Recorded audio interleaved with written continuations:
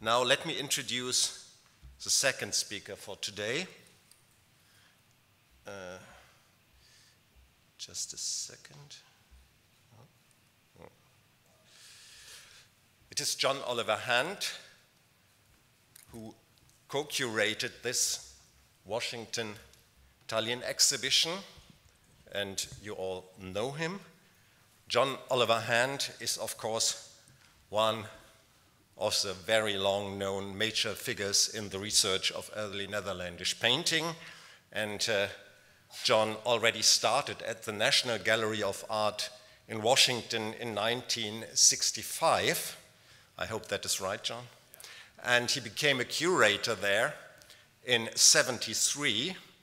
And during this long time uh, at the National Gallery, and well, it's, it's a long period to do research, and so did John.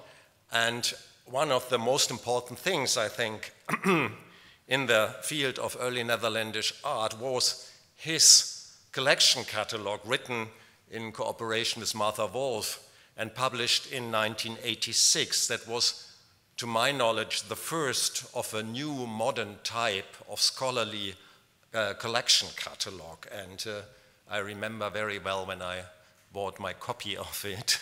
it was one of my first uh, really scholarly publications uh, on Netherlandish art, and it has become a model for all the subsequent collection catalogs in Frankfurt and in London and so on. So, most important, included in that catalog, of course, was one of the most beautiful, if not the most beautiful work that is preserved by Michel Sittow, and that is the portrait of, of a man called Diego de Guevara. That's exactly what John is going to tell us about. Uh, before he starts, I would like to mention that he, of course, did not exclusively work on that catalog and on Sittow. He's also very well known for his work on Joos van Cleeve. There is a monograph and many other things. And of course, John has been involved in quite a lot of exhibitions, uh, like uh, Unfolding the Netherlandish Diptych, uh, Prayers and Portraits, I think was the title, and so on. And of course, I'm especially interested in your talk, John, as this is going to deal not only with the painting in Washington and presently here, but also with the second half of the diptych, or maybe even the first half, the Virgin and Child in Berlin. John, the floor is yours.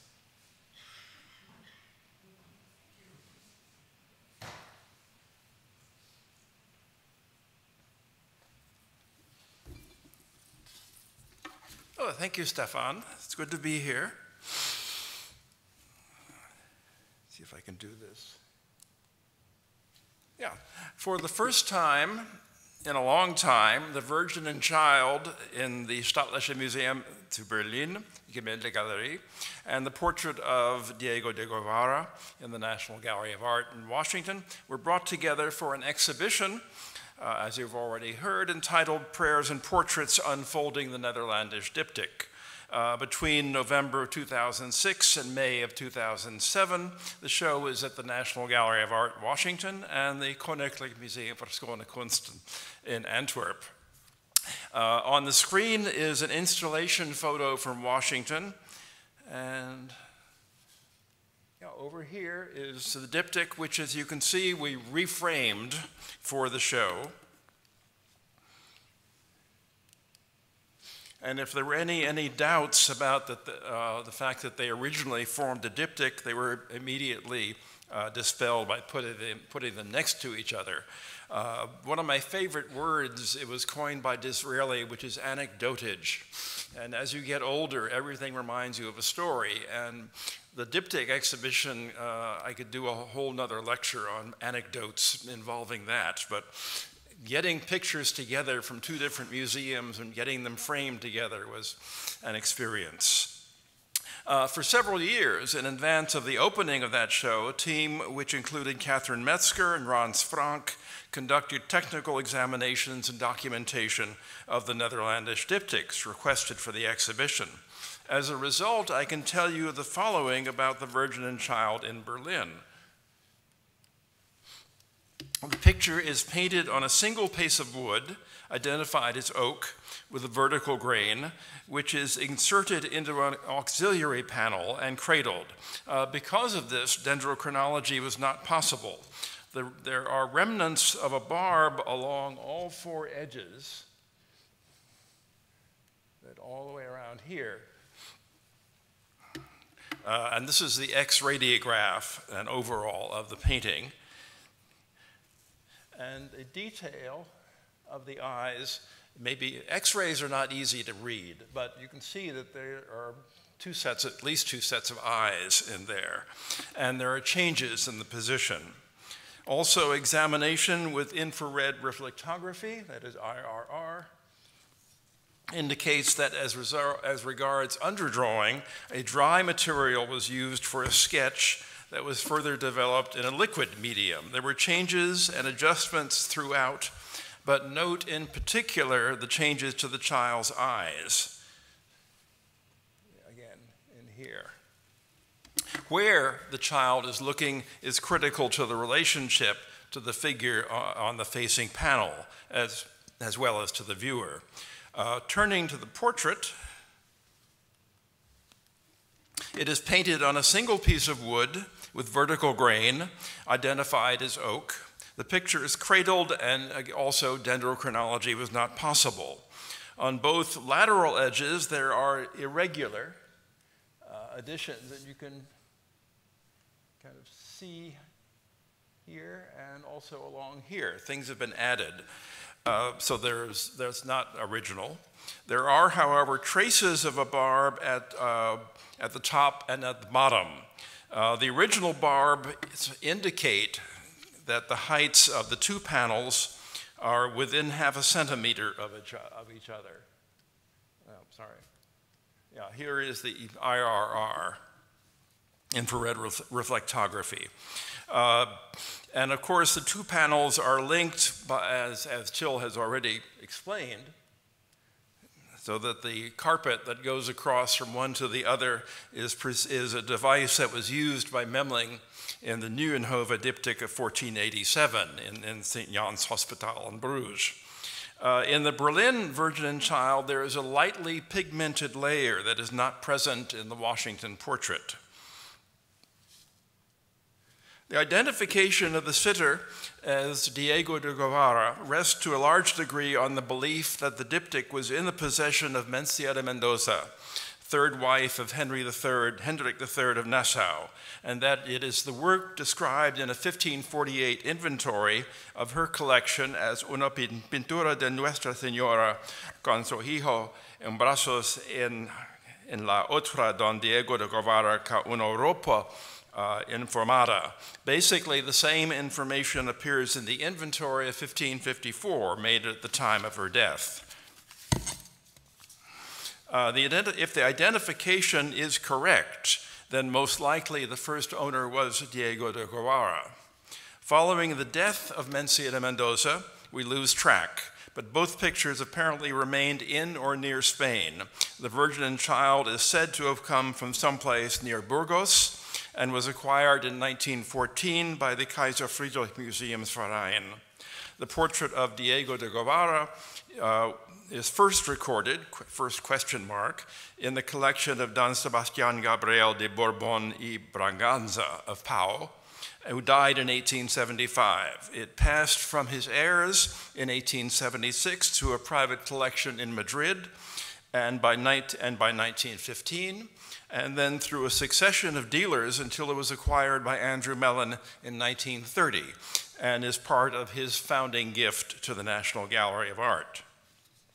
Uh, possibly bolstering the identification is the statement in Felipe de Guevara's Comentarios de la Pintura, written about 1560-63, referring to two portraits of his father, Don Diego de Guevara, one from the hand of Rougier, that is, Rogier van der Weyden, and the other by Michiel, disciple of Rogier. The identification of the sitter as Diego de Guevara is, however, not absolute. Uh, Matthias Weniger, who's here today, has raised the possibility that it might represent Francisco de Rojas, uh, whose dates are circa 1446 1523. De Rojas was ambassador to the Burgundian court for the Catholic kings, and he was a commander in the order of Calatrava, which will be important in a moment. Uh, points to the thistle on the sitter's buttons, abrojo, and the color red, rojas, as alluding to the person, Roja, a portrait of a man generally given to Hans Memling in a private collection is thought to represent Francisco, although the coat of arms is not an exact match. As Weniger himself notes, the sitter's brown hair does not match that of Sittow's donor, and even the dating, uh, uh, even if you date Memling's depiction earlier to the 1480s, it's hard to say that the man looks like the man portrayed by Sittow. Assuming it is Don Diego de Guevara, who was portrayed by Mikhail Sittow. What do we know about him? Uh, Diego de Guevara was the younger son of Ladron de Guevara, lord of Escalante, who was from near Santander in the northern Spain. The year of his birth is not known, but it may have been around 1450. When he died in 1520, it is noted that Diego had worked for over 40 years at the Burgundian court which means that he started sometime around 1480. He was a person of considerable importance and experience, and his career can be followed in some detail. He is said to have been with Charles the Bold at the Battle of Nancy in 1477 and in the entourage of Mary of Burgundy at the time of her death in 1482. In 1501, uh, Diego de Guevara was a maître d'hôtel in the household of Philip the Fair, uh, and in 1506, he held the same position for the Queen Johanna of Castile during the journey of Philip and Johanna into Spain. Uh, Diego de Guevara was sent on, dipl on, diplomatic missions. He went to England in 1507 and was sent by Charles V again to England as ambassador in 1514 1515. Lorne Campbell has suggested that Sittow might have accompanied uh, Diego to England at this time. Uh, this is intriguing, especially as it might relate to Sittow's purported portrait of Mary Rose Tudor in Vienna, which is here also in the exhibition. In Brussels, Diego's house was in the Sablon and was adorned with tapestries and collections of coins and goldsmiths' work or jewelry. He is buried in Notre Dame de Sablon in Brussels. Uh, Diego de Guevara collected art, although the full extent of his holdings is not known. He is probably best remembered as the first recorded owner of Jan van Eyck's portrait of Giovanni Arnolfini and his wife, dated 1434 in the National Gallery, London, a painting we all know. He gave the painting to Margaret of Austria, and it is recorded in 1516 uh, in the inventory of her collection. It is also stated that his coats of arms and device were on the wing panels, and this makes me wonder uh, if something similar was on the reverse of the Berlin Washington diptych. It has also been put forward that Diego de Guevara was the original owner of one version of Hieronymus Bosch's Haywain triptych, either the one in the Prado or in the Escorial. The reasoning to my, my, my, mind is not totally stringent or convincing. What is known is that in 1570, uh, Philip II purchased one version of the Haywain from the estate of Felipe de Guevara, the illegitimate son, and had it transferred to the Escorial in 1574.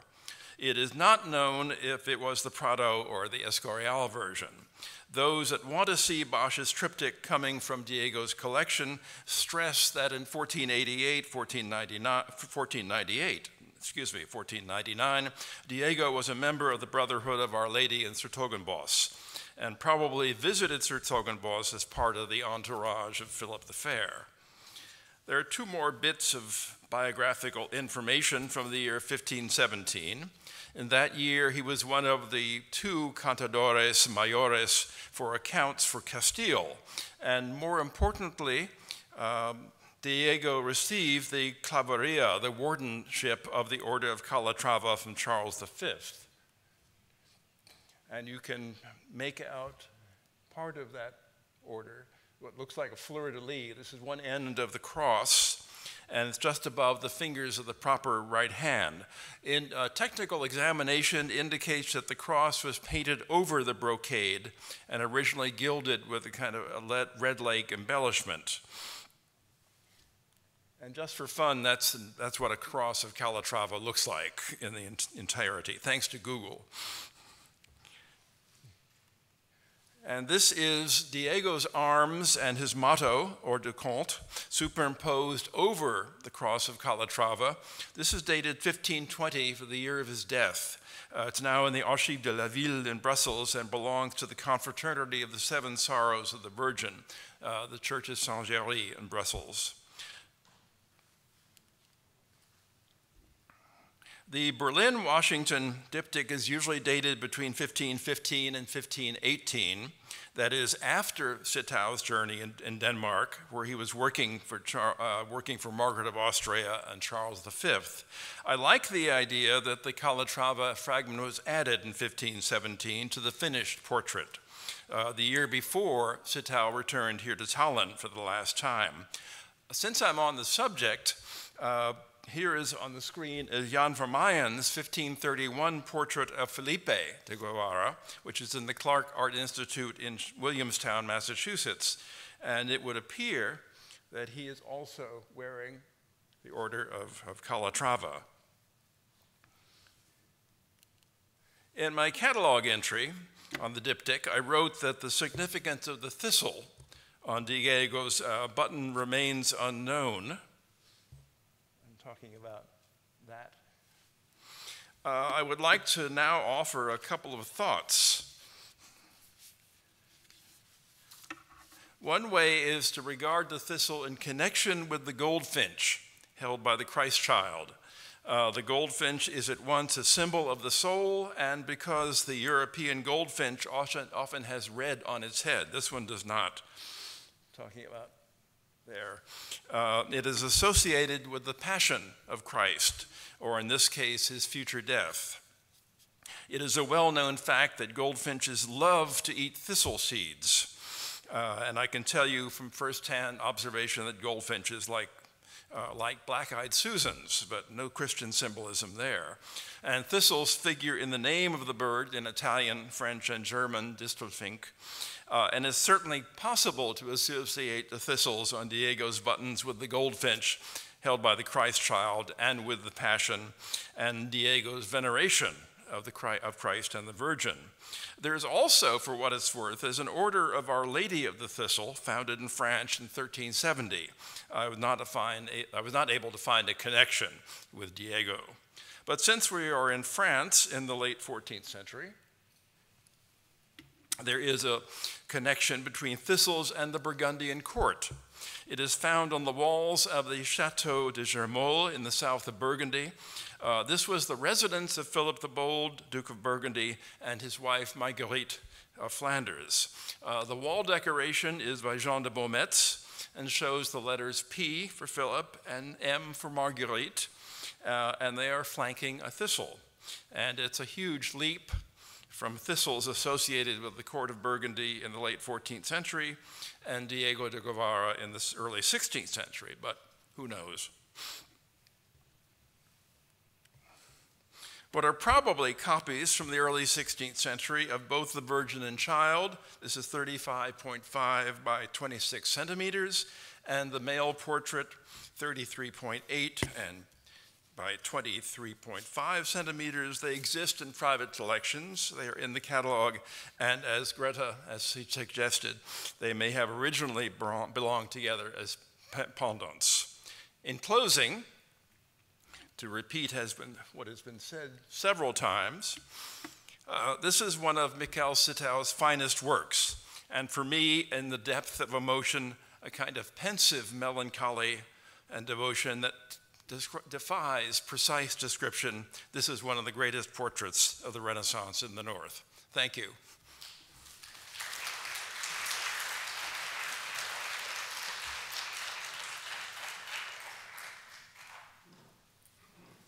Uh, thank you very much, John.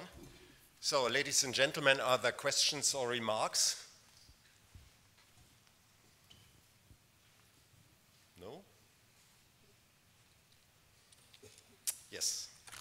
Uh, there was a pigmented uh, layer mentioned which uh, was found on one of the paintings in the diptych, but not in the other one. Was that a, a, an isolating layer on top of the ground, or was it a, an underpaint?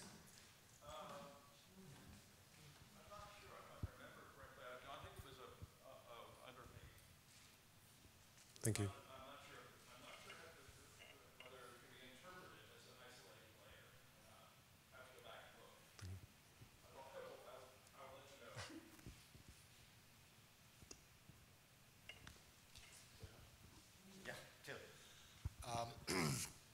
John, you showed um, the portrait of maybe Francesco de Rojas.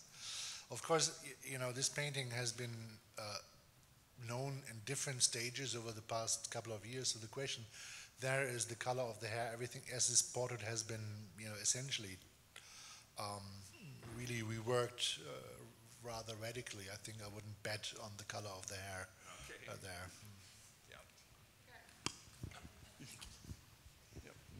Yeah, as, as Till said, the, the, the, state, the condition of the picture is somewhat problematic. Is that a good word? Good. You, you, you exhibited it in 2002? Or? And it changed, yeah, because it was.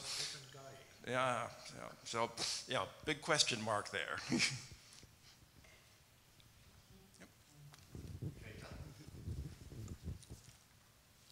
so, um, I just wanted to express um, my experience is gathered from the exhibition as during the summer I have had the opportunity to, to talk about the exhibition on, uh, uh, well, more, more than 30 times.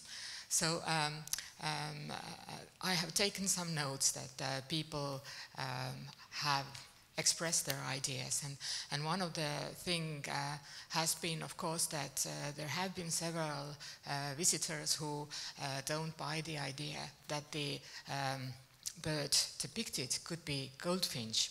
And even so that I had one visitor bringing uh, along um, a bird guidebook, opening it and uh, starting to compare.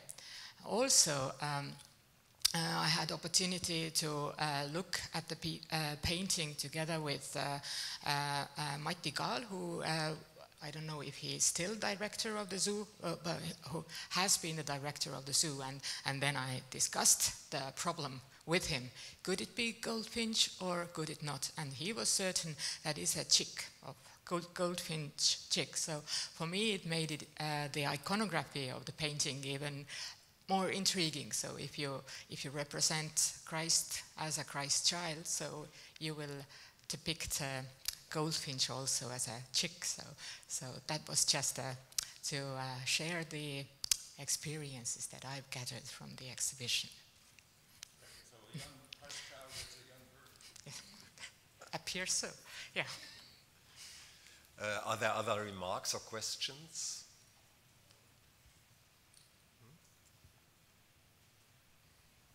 So, John, uh, I have to play the Advocatus Diaboli just for this time.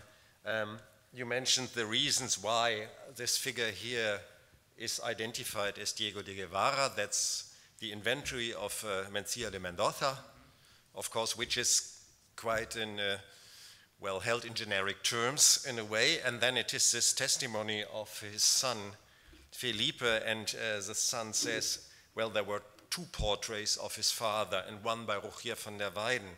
But uh, Diego de Guevara would have been 13 or 14 years old when Rogier van der Weyden died. And I think, so this is certainly not reliable.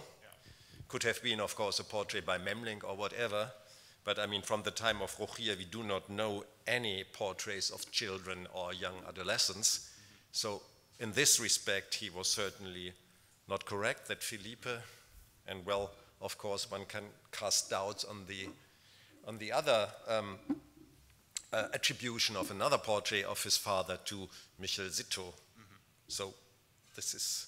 No, you're, you're absolutely right. It is, uh, no, it is, it is, not documented beyond a, a, degree of doubt. And, and, you have to keep, I think I've tried to indicate it, but you have to keep stuff like that in mind, that, yeah. you know, that it's not a document you can rely on. And, And still, I mean, yeah, that's why we, when we, uh, it, you know, we have a question mark after his name Yes, yes, when we exhibit certainly. it because. And I see the arguments pro. Yeah. You know, I just wanted to mention that. Um, Matthias, don't you? Yeah. Finally, Matthias is pointing his finger, so maybe we could have a little bit of a discussion.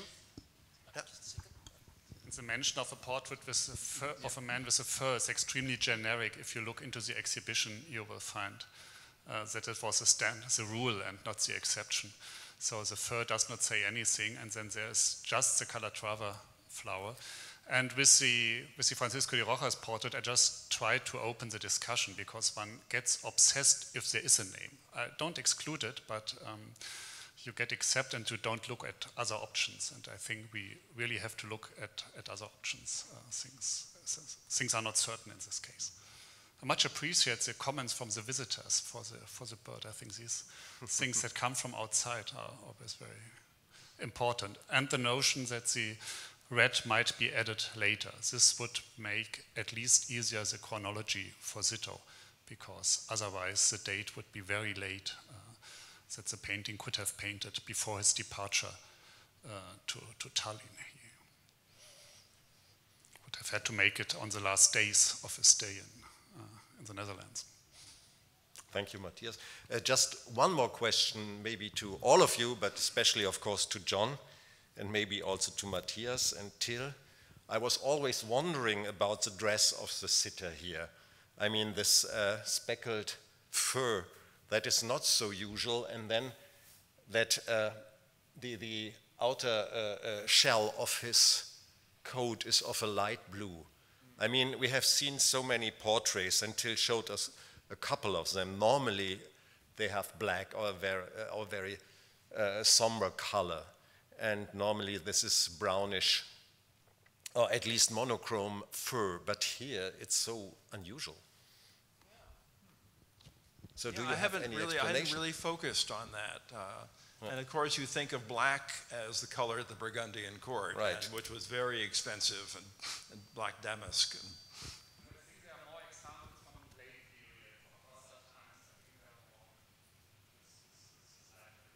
Yeah, okay, you must not compare it to 15th century, that is certainly true. You're right, in the 16th. Nevertheless, I mean, this uh, 18th century blue, I mean, you would think of uh, something uh, in the time of the Ancien Régime with this light blue jacket, but it's strange. Yeah, I, we agree on that. Till, do you want to? I mean, I mean, if you, if you, you know, I think you have a you have a valid point there. I think the the fur reoccurs, and you know, given the different stages of conservation, I think it's very difficult to make a definitive statement. But there is a portrait in Pittsburgh in the Carnegie Hall, I think attributed to Benson. Was a similar um, kind of light uh, speckled fur. I mean, the the color is a different story. I wonder if this um, this might be due to the um, erosion of some black pigment, uh, charcoal from the blue, so that it originally would have occurred to be darker. There's fur in the exhibition, the portrait from uh, Sorry. the new exhibition to Yeah, Sittow has a similar fur. Yeah. Yeah, yeah. okay, this is links, or what is it? yeah, I think it's a lynx.